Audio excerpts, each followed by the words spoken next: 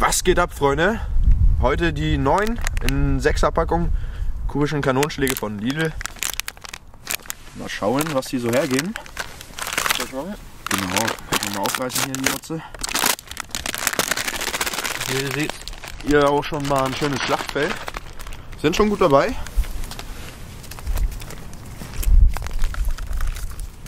Dann kriegt man die Lümmeltüte hier ab.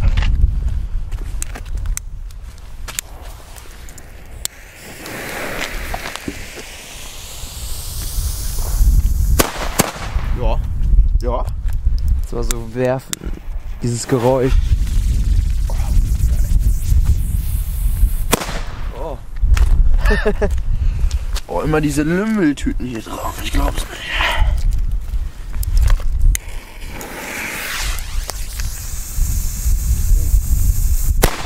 Ja, ja, ja. ja.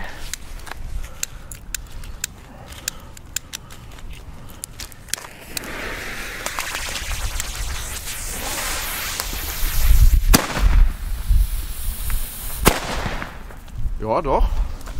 Also, Verschlechtert haben sie sich nicht.